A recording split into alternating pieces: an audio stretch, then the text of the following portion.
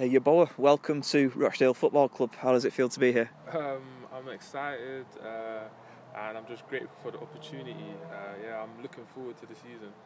You were at the game against Huddersfield Town on Saturday in a purely in a, a watching capacity. How did you find that?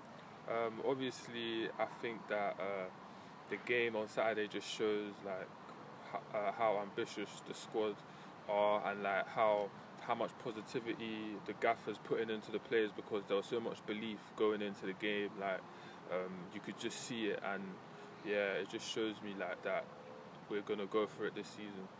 Watching that, then does that get you excited about stepping into that team? Yeah, definitely. You know, um, uh, the squad, the squad is strong. Um, you know, I feel like th- there's real belief in the squad. So, literally, um, I'm just looking forward to playing with to playing with everyone.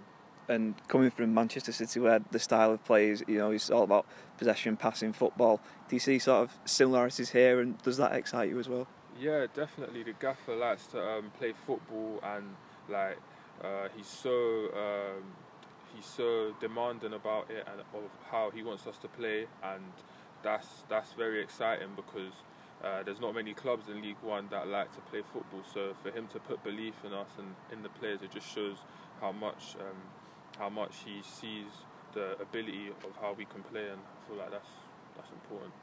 When did you first hear about the move?